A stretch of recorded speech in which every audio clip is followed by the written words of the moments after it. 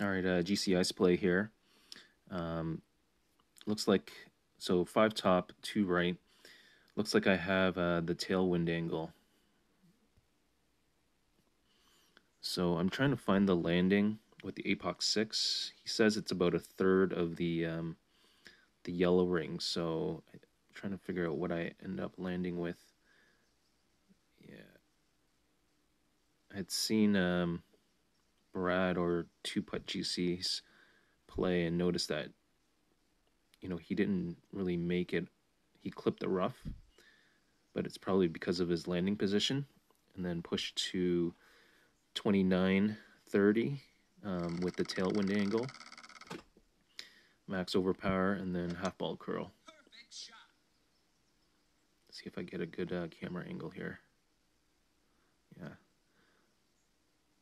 So with the tailwind angle, you should be pretty safe, especially with uh, this type of wind, mid to king wind.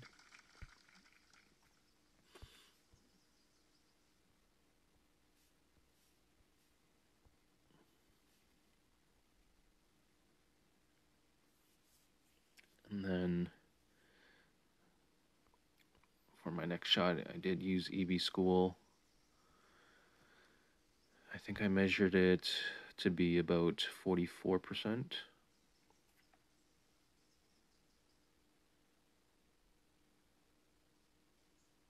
Yeah, just above the 9 there.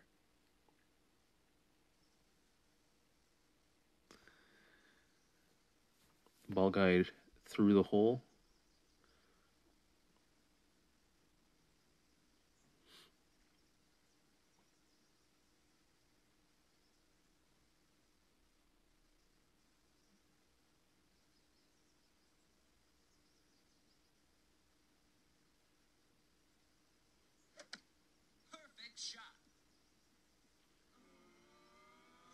Good stuff. All right, good luck, everyone.